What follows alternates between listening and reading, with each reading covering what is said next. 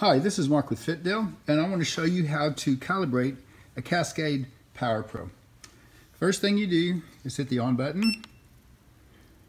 and then turn off the backlight.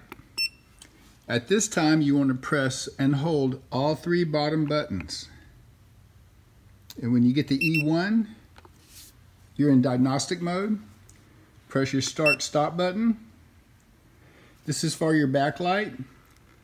Press it again to set your timing. This is 20 seconds. You can come over here to the left, average max, and you can hit your settings for that. And then it's 10 seconds, 15 seconds, 20 seconds is the highest. Press start, stop. Sound is default on.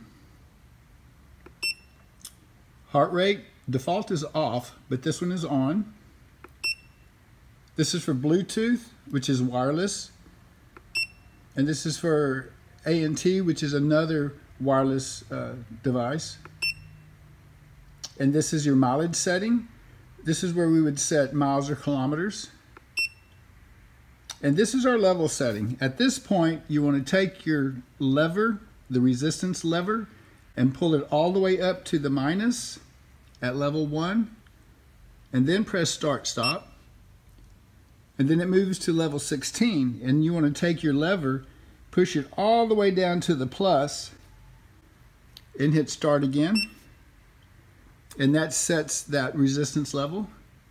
And then just go ahead and click through. This is all the settings that you made.